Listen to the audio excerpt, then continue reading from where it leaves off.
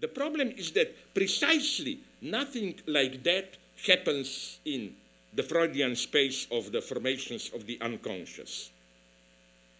There we have all the time compromise formations. You know, something is asserted but simultaneously denied, displayed, reduced, or encrypted in an often ridiculously patched up way. Now, the next point I want to make is that what complicates this figure, this reproach, is that, uh, you know, what is so mysterious is that whenever people want to point out how Hegel was not able to see something, quite often, when you look closely at it, you see that the dimension that he was not able to see is not some modern post Hegelian dimension, but it's the very Hegelian aspect, dimension of a phenomenon. He wasn't able to see in things precisely what he should have seen if he were to able to approach this phenomena through his own, let's call it, it's a wrong term, methodology. Let's take, and Fred Jameson did here in his short recent book on Phänomenologie des Geistes, some, made some nice points. Let's take the topic Hegel and economy. We know Hegel was reading uh, uh, Adam Smith and so on. But what is so surprising is that since Hegel's notion of modern society, as Jameson points out, nonetheless remains basically at a pre-capitalist level. It's basically artisans, people producing, exchanging. This idea that the moment we pass into Hegel's model was still uh, manufacturing and so on. The idea of uh, big, large factories with mechanized machinery and with clear class division, those who own, is simply not present in Hegel. But again, what is so beautiful is that Marx, in order to describe these dynamics, as we all know, had to read Hegel you know, after, after the fiasco of the relative fiasco of the 48 revolution, Marx uh, started to read again Hegel's logic. And it's absolutely crucial for genesis of capital. I mean, just look at capital and you will see here and there, or rather all around Hegelian references. For example, the passage from money to capital is formulated in purely Hegelian terms as the passage from abstract universal substance, money as the common measure, the universality, but passive abstract universality of all particular commodities, to money as active subject. Capital is money which is no longer a substance but active subject, which reproduces itself in its circulation and so on and so on. So the dimension, very nice one, I think. I want to emphasize here is that, for example, what Hegel was not able to see in modern economy is not some totally un-Hegelian dimension, but his own shadow in it. What, and okay, then uh, another thing. Here, Gérard Lebrun, a very good French uh, uh philosopher who wrote a lot of Kant and Hegel, who unfortunately died recently, pointed out that maybe what made for Hegel, what made Hegel unable to think capital is that, you know, namely this, and we are back at the problem of repetition here. You know Hegel's uh, big opposition between, usually it's translated spurious uh, infinity, uh, schlechte, is it schlechte or what? No, what is the bad infinity? I think it's schlechte Unendlichkeit, yes, and the good one the true infinity. Uh, but uh, the true infinity is precisely the subjective infinity of self-relating. And as uh, Lebrun pointed out, Marx characterizes capital as automatic subject, automatic subject. Why, why is this paradoxical? Because what is so perverse for a Hegelian in capitalism is that it undermines this simple duality of, on the one hand, just the mechanical repetition, on the other hand, truly speculative, self relating, and so on. The movement of capital is both at the same time.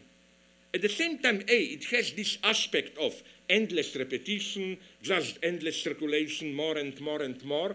But at the same point, so it's automatic, almost mechanical, but at the same point, it is strictly subjective, speculative, self relating.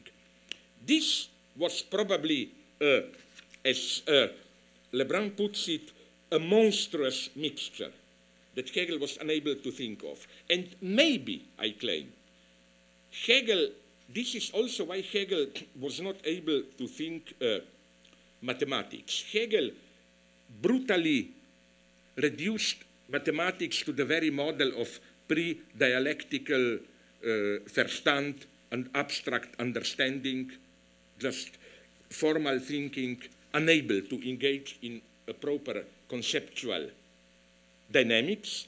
But my God, it would be really worthy to reread Hegel here. For example, it's wonderful what Hegel writes. Obviously, the problem obsessed him about, uh, how do you call it, infinitesimal calculus, no?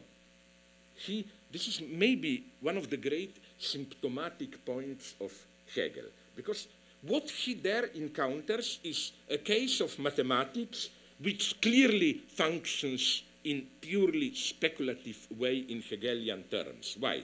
What happens there, you know, in, in, let us say, how does a circle and a line, where do they, like, that you can have the paradox of, you, we have a circle where a straight line touches it.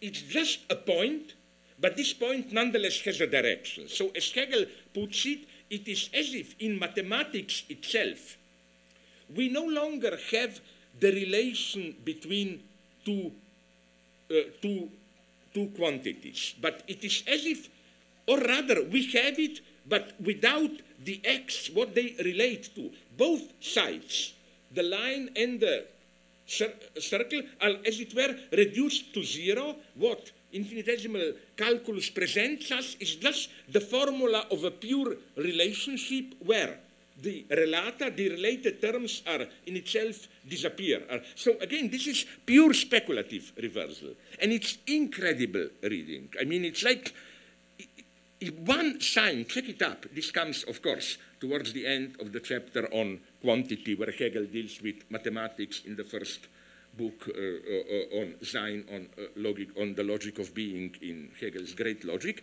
What is so obvious there? I mean, what makes it so obvious that we are dealing with the trauma is Hegel's, uh, where are we? Okay. Is Hegel's idea of, uh, is the, the, very length, sorry, of this part. You know, it's so weird. I think it's around 50, 60 pages. She's totally traumatized. Check it up. You know, endlessly goes into it. Obviously, he struggles terribly with, but again, you see, it's not, he found something that was totally unthinkable for him. No, he found himself where, according to his own theory, he shouldn't have found himself. He found speculative movement in what should have been for him just stupid mathematical, uh, uh uninteresting uh, repetition, and so on and so on. Okay. Uh, another thing, another way, oh my God, time is running, this is so evil, but whatever. to save Hegel is even when you speak about what I called lalangue, you know, playing with words, ambiguities, all this crazy aspect of language, where, as it were, language in, the, in its material texture starts to function on its own independently of uh, content. So that you have, for example, crazy lateral connections, which have nothing to do with inner logic of meaning. Now you would have said, oh, here Hegel should be totally against. A, A, A. First, here we encounter the genius of Hegel. It's very interesting how Hegel always resisted this common sense temptation of saying, since language is imperfect, our common language, we should construct a purely either formal, mathematical, or conceptual language where terms will be very precisely defined, you know, in the sense of avoiding all ambiguities and so on and so on. That's how Hegel usually is perceived as pure thinking where you just need language as an imperfect tool.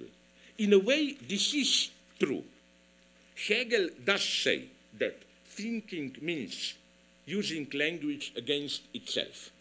That you, we have to think in language but against language. Now, if you know a little bit about Hegel, you know his paradoxical answer to how do we do it. Not to strive as far as possible to, to, to introduce ambiguity, clear structure in language, but on the contrary, to mob, by way of mobilizing precisely the dimension that Lacan calls lalangue, all these stupid abstract uh, associations and so on and so on.